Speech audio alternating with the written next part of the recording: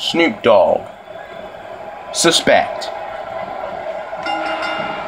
This will surely be a true mono a mono test. It's amazing. For more than 50 years, men and women have entered this ring all in the name of greatness to see who is truly the best. I think when it's all said and done, we'll be talking about this match for a long time. Keep your eye on this one. Yeah, this should be. Whoa, whoa! Oh, look at the emotion. Man, he's still down after that move. I almost wonder if the girl got seriously wrong there. Brooks is such an intriguing personality. Definitely looking confident in this one-on-one environment. Wow. That's a good Whoa. sign. Boy, did he get dropped or what? He's really taking over this match now.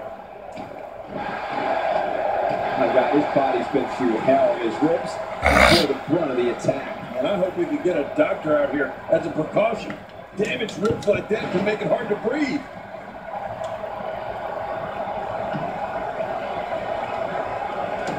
Nobody controls the pace of a match quite like this guy.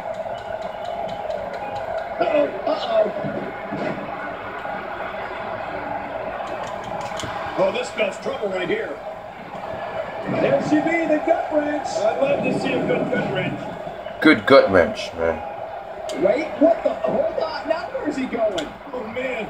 You hope when you see someone climb up there that they at least have a plan. He's nearing the floor, and his opponent can just look on. Yes. Two. What a huge Three. Big Snoop Dogg. Yes. Oh, that was a You're the winner. For the record books. The final boss of this will Crow. This one for a while. Bruh. Mm-hmm. Just in time. talk about crowd pleasing? Take a look at the highlights from this match.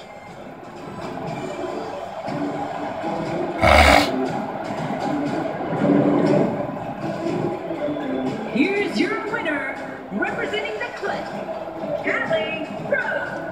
You can't be a pimp if you get owned like a hoe. That's having a game plan and executing it to perfection.